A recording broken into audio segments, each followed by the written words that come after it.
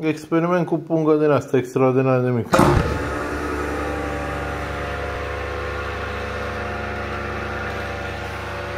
Cu setările astea. Uite, nu se mișcă după loc. Punga e perfectă. Materialul este bun la pungă. Dacă punga era proastă, subțire, atunci aluneca de aici de sub bacuri. Dar din cauza că punga este extraordinar de bună ca și material, atunci nu a alunecat niciun milimetru. Am pus eu strâm când am fost eu atent. Dar ea a rămas așa, pe poziția pe care am pus-o. Și a ieșit perfectă lipitura. Uite până și amprenta de la lipitură. Să vede aici amprenta de la lipitură, amprenta de la, de la pânza asta.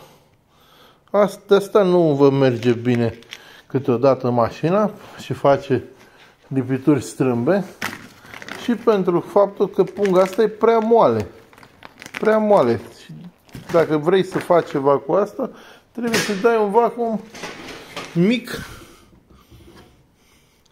și atunci o să facă și aia.